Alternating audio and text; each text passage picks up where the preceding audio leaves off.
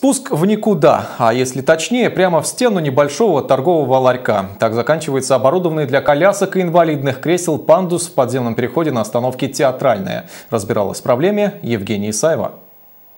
Вот на таком пятачке маломобильным группам населения предлагают развернуться. Если с маленькой коляской сделать это еще можно, то с коляской побольше или с инвалидной такой маневр уже становится проблематичным. Чуть больше полуметра, вот и все просторы. Сложно здесь и просто поставить коляску на полозы пандуса, чтобы подняться. Поэтому многие мамы с маленькими детьми выбирают более трудоемкий путь по ступеням. Приходится на руках переносить коляски. Ну, Все. Такой метод предпочитаете?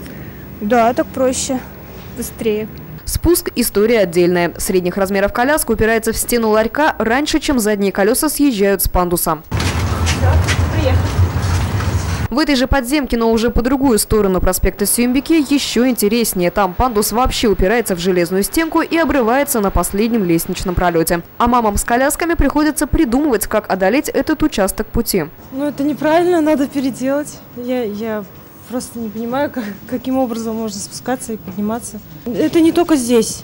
Вот э, сейчас новые вот эти вот сделали подземки. Там неудобно э, с нестандартным размером коляски, вообще неудобно спускаться. Очень неудобно подниматься, особенно вот если еще два ребенка. И, и коляска, еще, и еще один за руку. Очень неудобно. Продавцы в киосках в основном наемные работники, поэтому распоряжаться павильонами сами, конечно, не могут. Хотя суть проблемы и недовольства граждан им лично понятны. Спускаться неудобно людям. Я редко-редко тут работаю. Ко мне не обращались. Знаю, ей, может быть. Ну, говорят, что скоро уберут это на киоске.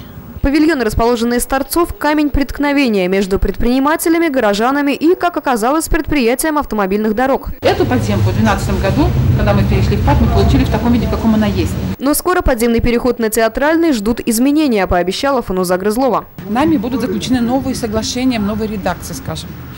Естественно, люди, расположенные в торцах, эти договора не получат. Они вместо этого получат уведомление о расторжении наших договорных отношений.